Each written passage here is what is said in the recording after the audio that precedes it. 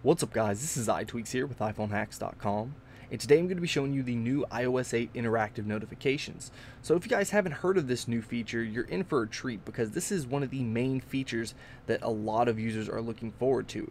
And that's the ability to quickly reply to messages without having to actually go into the application. So that's going to be a huge plus. Now it's not only going to work with notifications, it's also going to work with calendars, you know, if you're setting up a meeting or mail or reminders, anything like this, you're going to be able to quickly interact with those notifications directly on your device.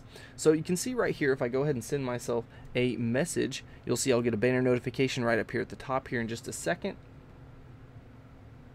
as you can see right there. So if I swipe down, then that's going to give me the ability to quickly reply or I can even record a message. So if I just start or if I tap and hold right here, then it's going to start recording my voice. If I let go, then I can send that off or I can cancel it and then type something out right there. So if I just type out hi, we can send that off without actually having to go into the app.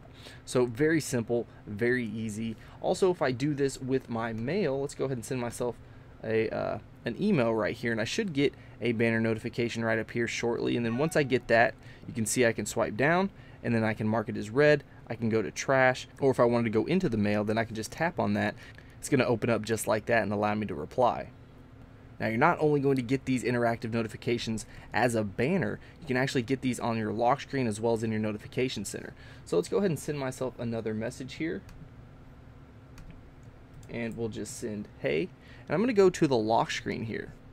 So you'll see right here I'm at my lock screen, send a message, and then we see we have our notification. So if we wanted to quickly reply, then we would just swipe to the left just like that, and then I can tap reply, and you can see it's going to pull down the exact same little banner uh, sort of quick reply right here that allows us to respond.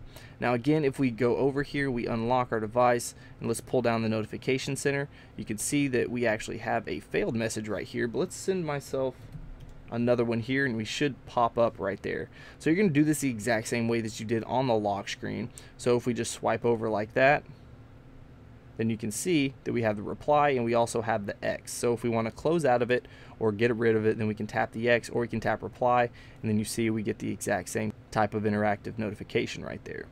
So definitely a huge plus and awesome addition to iOS 8. Let me know what you guys think about this feature in the comments below. And if you enjoyed this video, please hit that like button. If you want to see more of my videos, then go ahead and subscribe.